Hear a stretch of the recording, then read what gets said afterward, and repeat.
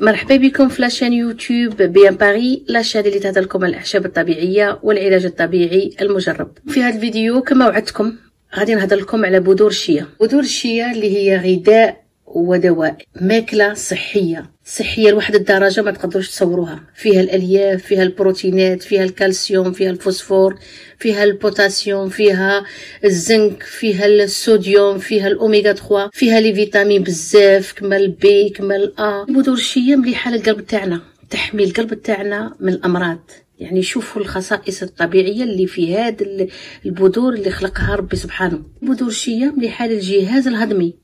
خاطش فيها الألياف وهذه الألياف تعاون الناس اللي عندهم مشكلة تاع الهضم واللي عندهم الإمساك يفكروا في بذور الشيا ويدخلوها في الأكل تاعهم باش تخفف عليهم هذه المشكلة تاع الإمساك اللي بزاف الناس يشكوا منها. بذور الشيا مليحة لهشاشه العظام الناس اللي عندها مشكلة اللي عندها آلام تاع المفاصل تاع العظام التهاب المفاصل خاطش فيها بزاف الكالسيوم. مليحة للسنين مليحة للعينين مليحة للمخ. الناس اللي عندهم مشكلة ما يرقدوش مليح يتعودوا على بذور الشيا تعاونهم إن شاء الله تدريجيا باش يرقدوا مليح. تنشط وظائف المخ.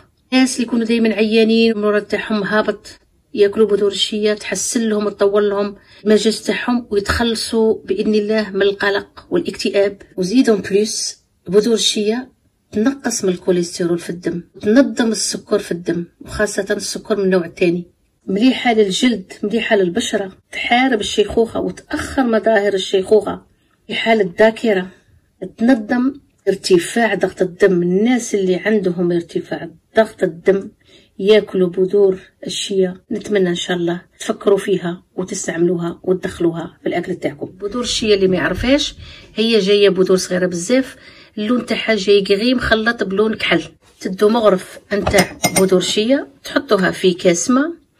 وتخلوها تقعد شحال من ساعة؟ وماذا بكم كان تخلوها par exemple من الليل وتشربوها الصباح c'est encore mieux والناس اللي تبغي تستافد منها صحيا تشربها كاس الصباح وكاس عشية تولي ان جيل وهذاك الجيل هو اللي مفيد للصحة. ديروها في ان جو ديروها في الحليب ديروها في السلطة ديروها في الخبز تاعكم في اليايورت. نتمنى إن شاء الله تكونوا استفدتوا وتكونوا تعرفتوا على بذور الشيا ونتلاقوا إن شاء الله في فيديو جديدة.